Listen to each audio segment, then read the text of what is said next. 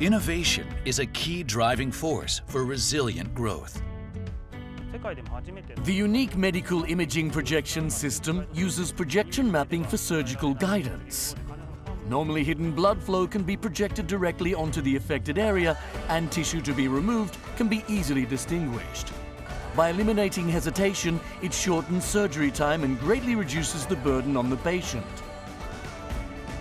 Japan, innovating the future.